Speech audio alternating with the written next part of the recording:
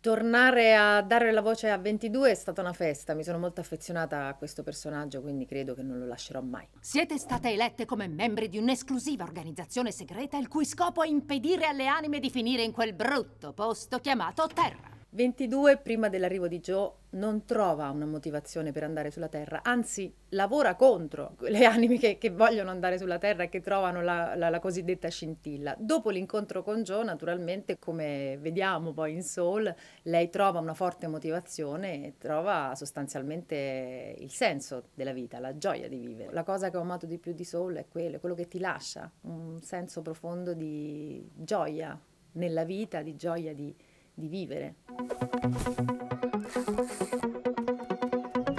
Direi che dell'antemondo il posto che mi piace di più è il salone del tutto, perché lì scegli, vedi, c'è tutto e tutto quanto. Anche i padiglioni della personalità sono molto interessanti. Wow!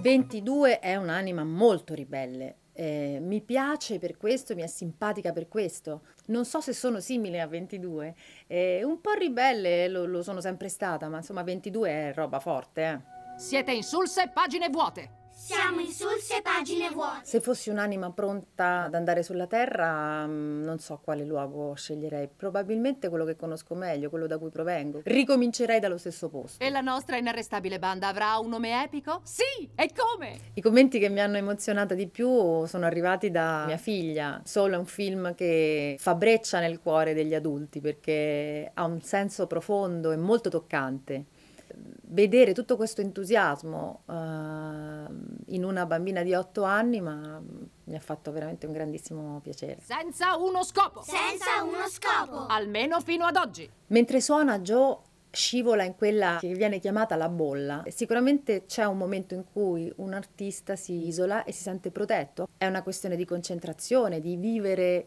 quel momento lì che è finzione ma è anche realtà è, è, una protezione, è un luogo sicuro, una bolla. Congratulazioni! Voi cinque avrete il privilegio di restare...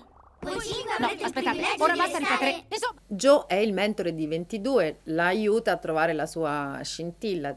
Forse tutti i genitori, come capita a noi con eh, nostra figlia Laura, tutti vorrebbero essere dei mentori perfetti per i propri figli e aiutarli e guidarli a trovare la propria scintilla secondo me non, non, c'è molto da fare, nel senso che come capita anche in, in questa storia bellissima che è Soul, la scintilla bisogna trovarla da soli.